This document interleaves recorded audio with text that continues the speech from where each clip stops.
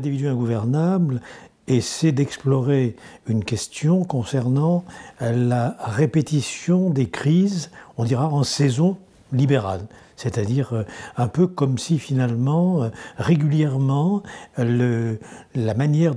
libérale de gouverner, en se basant sur la raison, sur la morale, sur l'idée d'un progrès grâce à la technique et la science, rencontrait euh, un impossible rencontrer, si vous voulez, un moment où, après euh, les illusions euh, d'une amélioration des conditions de vie, d'une amélioration, si vous voulez, des conditions sociales, euh, se produisait une crise qui est à la fois une crise morale, économique, financière et essentiellement d'ailleurs politique et psychologique.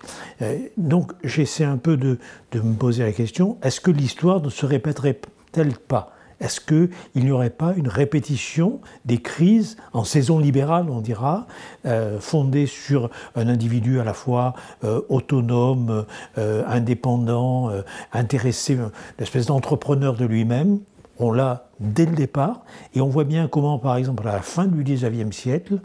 après l'arrivée au pouvoir des libéraux, il y a un effondrement un effondrement, c'est-à-dire on s'aperçoit que finalement euh, les manières libérales de gouverner euh, s'avèrent, euh, si vous voulez, fondées sur des illusions, fondées sur une idéologie qui ne tient pas compte des besoins sociaux des masses. Et à ce moment-là, il y a une crise, une crise, on la voit très bien à la fin du XIXe siècle, par l'arrivée, par exemple, si on prend l'exemple de l'Autriche, des, tribuns antisémites à la, mairie de Vienne, on la voit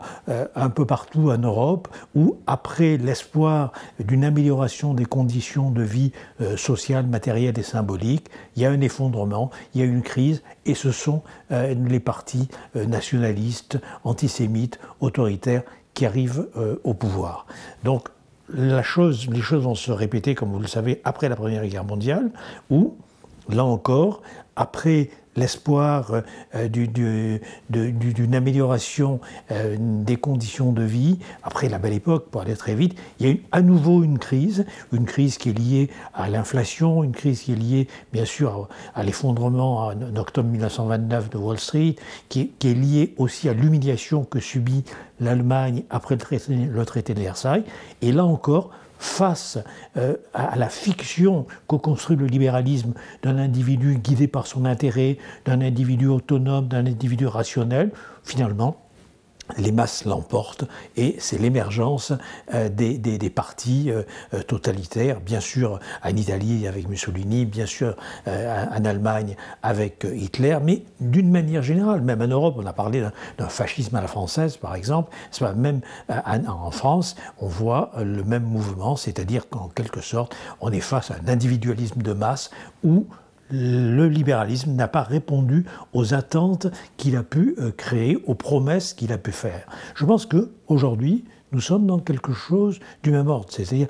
bien sûr, je ne veux pas céder au démon de l'analogie, mais je crois que l'histoire a tendance à se répéter parce qu'il y a quelque chose dans le gouvernement euh, libéral qui ne tient pas compte de ce qu'est réellement le sujet dans son besoin à la fois de liberté, mais de reconnaissance par autrui. C'est-à-dire qu'il y a un impensé du libéralisme que j'essaie d'explorer dans l'ouvrage. L'émergence de la psychanalyse, elle vient en quelque sorte proposer une espèce de solution éthique, de solution presque, on dira, anthropologique et politique, c'est-à-dire que face à cette illusion d'un individu autonome qui ne tient pas la route et qui crée chaque fois les mêmes crises dans le libéralisme, parce que l'individu autonome, ça conduit à quoi? Ça conduit, ça, conduit à ce que ce soit les plus qui fassent la loi, et que ce soit toujours les plus riches qui s'enrichissent, et les plus, pauvres qui s'appauvrissent, face à cela, face en même temps à cela qui est en contradiction évidente avec quand même l'assujettissement des individus aux automatismes de la machine.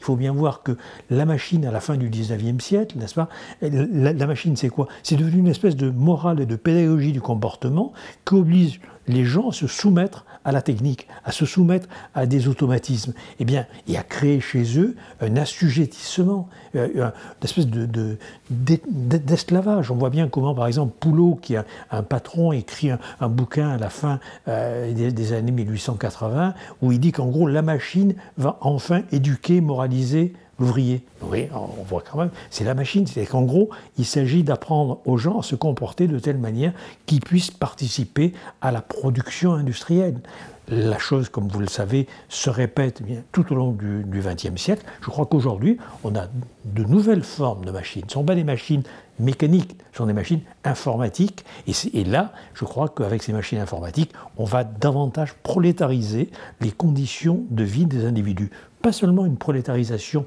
matérielle, pas seulement une prolétarisation, si vous voulez, économique, mais aussi une prolétarisation symbolique dans la mesure où leur capacité justement de penser, de décider, de juger, se trouve confisquée par les exigences des machines. Et on voit bien par exemple aujourd'hui comment tous les métiers se trouvent considérablement appauvris dans euh, les capacités des individus à décider. Vous êtes médecin, vous devez suivre les règles de bonne pratique. Vous, êtes journaliste, vous devez obtenir le, maximum d'audimat. Donc toutes ces logiques-là, où vous êtes chercheur, vous devez bien évidemment euh, produire euh, dans des revues à fort impact factor. Tout ça, si vous voulez, constitue de nouvelles formes d'esclavage de l'individu qui heurtent de plein fouet l'illusion libérale d'un individu autonome.